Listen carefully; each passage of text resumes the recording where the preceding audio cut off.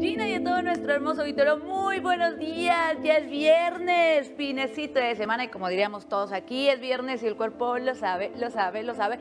Y al parecer también el clima, porque déjeme comentarle que sí, el día de ayer estas perturbaciones térmicas se reforzaron por la depresión 1E, la cual vino a reforzar estas temperaturas que siguen siendo elevadas, pero con complicaciones térmicas que son las precipitaciones y también la presencia de granizo. Pero esta depresión 1E, por el momento, mire, se encuentra posicionado sí en el Pacífico, pero se prevé que nuevamente continúe su desplazamiento aperturándose, ya que se encuentra aproximadamente a 2.280 kilómetros, pero no de Jalisco, sino de Cabo San Lucas, trayendo afectaciones y alteraciones solamente a esta misma localidad. Por el momento, momento sí continúa la presencia de dos canales de baja presión. El primero, que ya lo sabemos, está posicionado en toda la región occidente y parte de la región oriente. Posteriormente, el segundo, en gran parte de la zona centro y sur-sureste del territorio, aperturándose nuevamente a lo que es la península de Yucatán.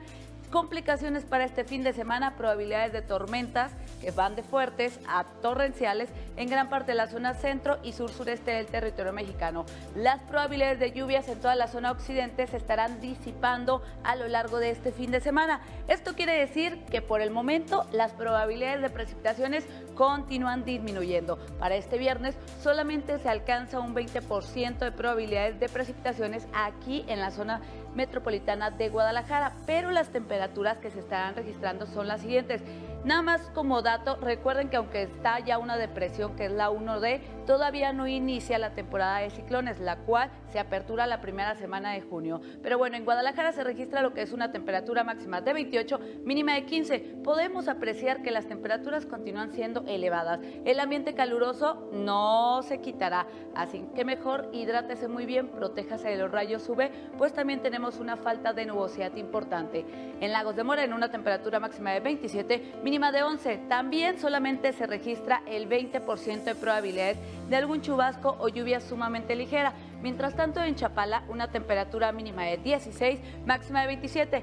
Chapala amanece un poquito más fresca porque la acompañan estas precipitaciones, pero se prevé que a lo largo de este día se vaya disipando esta presencia de lluvias, pero sobre todo que el ambiente sea un poquito más caluroso para este sábado y domingo. En Ciudad Guzmán una temperatura que oscila entre los 13 y 24 grados. Ciudad Guzmán sí continúa con las precipitaciones, con actividad eléctrica, con la presencia de nubosidad y rachas de viento. Toda esta combinación, bueno, hace que tenga una percepción térmica aún menor y se prevé que así continúe este viernes, posteriormente el sábado, disminuyen las probabilidades hasta un 30% y ya el domingo se prevé que esté completamente y soleado. Morelia una temperatura máxima de 24, mínima de 12.